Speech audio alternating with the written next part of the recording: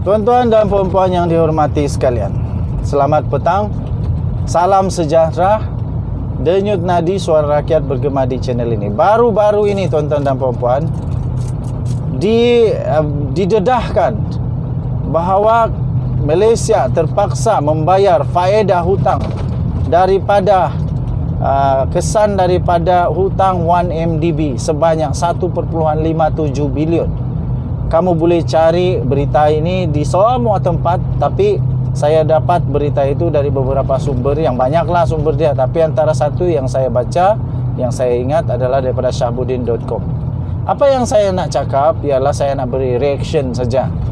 Reaction kekecewaan. Kenapa kecewa? Kerana 1.57 faedah 1.57 bilion ringgit Malaysia faedah dibayar setiap tahun itu amat-amat banyak. Dan ini adalah satu yang sangat-sangat menyedihkan sangat-sangat uh, sedihlah bagi kita rakyat Malaysia. Apa tak sedihnya? Contoh saja. Contoh saja di kampung saya. Sampai sekarang jalan kami okey dah pernah buat tapi sekarang dah rosak. Dah rosak tak tahu kenapa tak dibaiki tapi yang paling kami perlu ialah air. Air pipe. Meter air sudah ada berpuluh tahun tapi air tak pernah sampai. Tak tahu apa masalah dia. Tapi maksud saya ialah kalaulah alasan digunakan kerana tidak ada wang bayangkan saja kalau 1.57 bilion faedah ini tidak ada dibayar. Tidak perlu dibayar itu bukankah membawa manfaat kepada rakyat jelata? Bukankah membawa manfaat kepada orang ramai? Jangan cakap kamilah. Banyak sudah video-video pelajar-pelajar sekolah menggadaikan nyawa di Sabah untuk pergi ke sekolah. Kerana apa? Tidak ada jambatan yang yang uh, yang yang yang baik. Mungkin ada tetapi rosak sudah rosak dihanyutkan banjir. Jadi tuan-tuan dan puan-puan kalau 1.57 bilion itu diguna untuk infrastruktur facility sebagai contoh saya ambil tadi itu jambatan. Jambatan yang kukuh yang katakanlah bernilai 10 juta. Sebab saya nampak uh, video itu yang mana anak-anak murid itu menyeberang sungai tersebut dengan banyak cara lah ada yang naik uh, rakit ada yang uh, pakai uh, basket ada yang naik di uh, apa saluran pipe macam-macam lagi. Tak besar sangatlah sungai itu. Jadi saya fikir 10 juta itu boleh selesai. Terima kasihlah kepada kerajaan negeri Sabah yang nampaknya memang sudah buat sesuatu. Terima kasih kepada YB-YB yang dah buat sesuatu. Tapi saya fikir masih banyak lagi yang perlu diselesaikan. Maksud saya, wang 1.57 bilion itu kalaulah dapat diguna untuk uh, rakyat lagi mudah lagi senang. Mudah, senang untuk uh, ke, apa untuk rakyat jelata.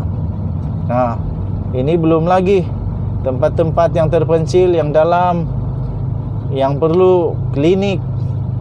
Ha. Malah ada tempat-tempat yang murid-murid terpaksa berjalan kaki jauh sangat untuk pergi ke sekolah. Kalaulah tempat itu cukup syarat dan boleh buat sekolah, dengan 1.57 bilion itu saya fikir bolehlah buat sekolah kecil-kecil ke asrama ke at least at least boleh buat asrama di sekolah yang mereka tinggal. Jadi inilah natijahnya dengan uh, dengan pengurusan yang mungkin silap pada ketika itu. Walaupun Najib Razak kata tak tahu, walaupun Najib Razak kata dia mungkin ditipu uh, uh, apa itu ah kena kena main-main, kena game. Tapi mau tidak mau kena ambil tanggungjawab. Realitinya ialah benar negara berhutang terpaksa bayar hutang 1.57 dan melalui berita itu juga Tengku Zafrul ha, Tengku Zafrul Menteri Keuangan sendiri mengakui bahawa setakat 30 Jun yang lalu bagi komitmen hutang 1MDB ialah sebanyak 32 bilion. Tuan-tuan dan puan-puan yang dihormati sekalian, 32 bilion bagi komitmen hutang ini bukan sikit, sangat-sangat banyak. 32 bilion ini dapat membantu seluruh rakyat Malaysia. Bayangkan berapa banyak 32 bilion itu. 32 bilion kalau dibahagikan kepada rakyat Malaysia sebanyak uh, 30 juta, oh banyak tu boleh dapat. Uh, jadi teringat pula kata kata Najib Razak ketika berdebat dengan Anwar Ibrahim dia kata kek lepas itu Anwar menjawab uh, apa menjawab apa yang dikatakan oleh Najib Razak tentang kek itu. Dia kata ialah kek tu bagus tapi kalau makan seorang itu masalah dia. Aduh mau tidak mahu itulah yang kita alami. Jadi pada saya tuan-tuan dan puan-puan Kebenaran itu tetap kebenaran Kebenaran itu tetap kebenaran. Saya tidak menghalang mana-mana pihak Untuk sama ada mau mahu terus menyokong Atau tidak menyokong uh, Najib Razak atau AMNO Tak ada halangan langsung. Okey, kamu teruskan. Tapi kebenaran harus di, di, di, didedahkan. Uh, Rakyat ada hak untuk tahu kebenaran. Jadi um, sama ada mau terus sokong dia itu terpulang. Tidak masalah. Itu hak masing-masing okey tapi kebenaran harus diberitahu. Nah ini kebenaran dia diberitahu di dewan rakyat. Bukan di diberitahu di restoran bukan juga ada ada pengampu kah ada penyokong tegar kah. Yang duk kata di Facebook kah di YouTube kah di Twitter Instagram di mana-mana sajalah. Tapi ini diberitahu di mana? Di Dewan Rakyat tuan-tuan dan puan-puan. Maksudnya ini kebenaran.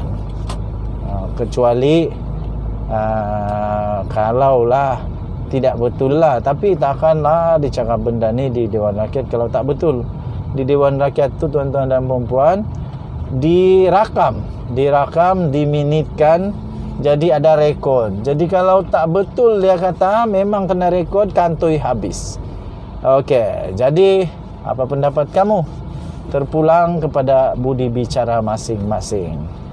Sambil itu denyut nadi suara rakyat bergema di channel ini. Saya sudah sampai di destinasi saya. Parking kereta dulu. Okey, parking kereta dulu. Hati-hati memandu. Jangan ikut perasaan. Ah, jangan ikut perasaan. Kalau ngantuk, uh, berehatlah di tempat yang selamat uh, ada RNR ke ada kedai ke boleh berehat di tempat yang selamat jangan paksa kalau sudah ngantuk. Uh, nanti sendiri juga yang susah. Ingatlah kepada orang yang tersayang. Memandu dengan berhati-hati. Jaga kesihatan apalah ini dah jadi pakar motivasi kesehatan agaknya. Denyut nadi suara rakyat bergema di channel ini. Kita jumpa lagi. Selamat petang Malaysia. Bye bye